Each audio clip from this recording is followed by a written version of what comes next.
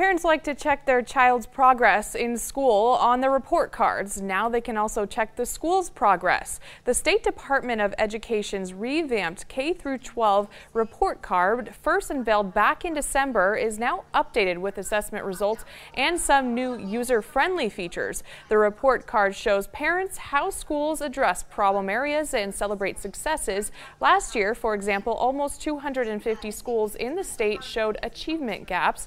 This year, According to the report card, that number has dropped to 188.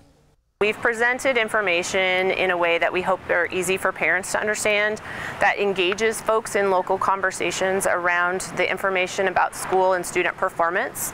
And we really want to encourage this as a catalyst for conversation. The updated report card is available online. We'll have a link for you on our website, 6onyourside.com.